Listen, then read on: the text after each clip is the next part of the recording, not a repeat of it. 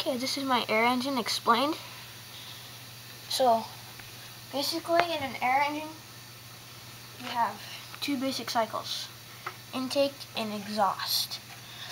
So, on intake, high pressure air goes through this inlet, and this valve opens, letting it in, and it pushes the piston down. Then the exhaust valve opens, and the gas, or air, goes back out. And then the cycle just repeats. So that's about it. To build this, all I had to do is modify the camshaft so that it eliminates compression.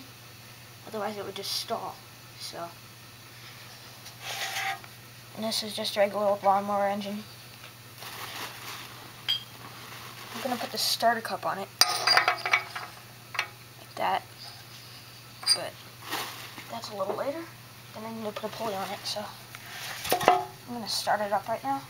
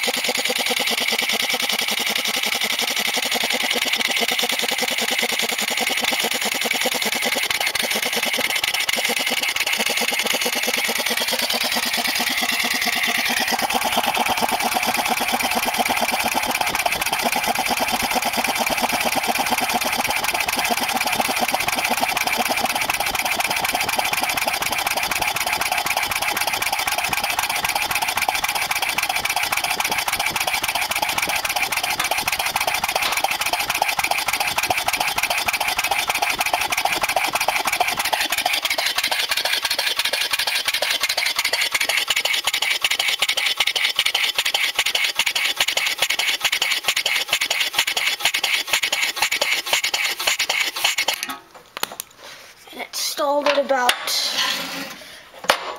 a little less than 20 psi. So this is actually pretty efficient for my first time doing this. And the lobes on the cam aren't even that great. So, but you can see the valves moving. So I just put this clear plexiglass valve cover in there. So you can see that.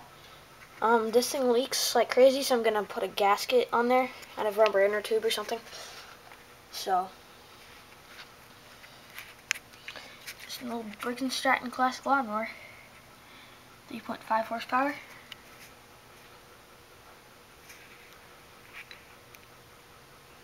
That's about it.